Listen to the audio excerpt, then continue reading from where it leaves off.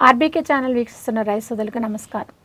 ఈనాటి అభ్యుదయ రైతుల పరిచయవేదిక కార్యక్రమానికి ఎన్టీఆర్ జిల్లా జీకొండూరు మండలం మునగపాడి గ్రామానికి చెందిన అభ్యుదయ రైతు శ్రీ పగడాల వెంకటేశ్వరరావు గారు ఆర్బీకే స్టూడియోకి రావడం జరిగింది. నమస్తే వెంకటేశ్వరరావు గారు. మీరు మొక్కజొన్నలో మెరుగైన యాజమాన్య పద్ధతులు పాటిస్తున్నారు మంచి ఫలితం సాధిస్తున్నారు. మొక్కజొన్న ఏ నెలలో నాటుతారండి మీరు? ఇప్పుడు మినిమం వేసాం అనుకోండి మేడం మినిమం వేసిన దాంట్లో నవంబర్ డిసెంబర్ నాటుతాం అదే ప్రతి వేసిన దాంట్లో అయితే డిసెంబర్ జనవరి నాటుతాం మొక్కజొన్నలో విత్తనాలు నాటే పద్ధతులు ఏమేమి ఆచరిస్తారు? అరకతో పాతిక అంగుళాలు వచ్చి తోలుతాం. దాన్ని కూలీల చేత తొమ్మిది అంగుళాలు ఆరు అంగుళాలు అట్లా భూమిని బట్టి నాటుతాం మేడం. ప్రతి సంవత్సరం ఇదే పద్ధతి ఫాలో అవుతారు? ప్రతి సంవత్సరం ఇదే పద్ధతి. జంటసాల పద్ధతి డ్రిప్ ద్వారా వాటర్ ఇస్తాం మేడం. దీనిలో ఎంత విత్తన మోతాదు అవసరం అవుతుందండి పది కేజీలు అవుతుంది మేడం. ఇప్పుడు మీరు మినుము తర్వాత మొక్కజొన్న వేస్తారు కొన్నిసార్లు పత్తి తర్వాత కూడా వేస్తారు కదా.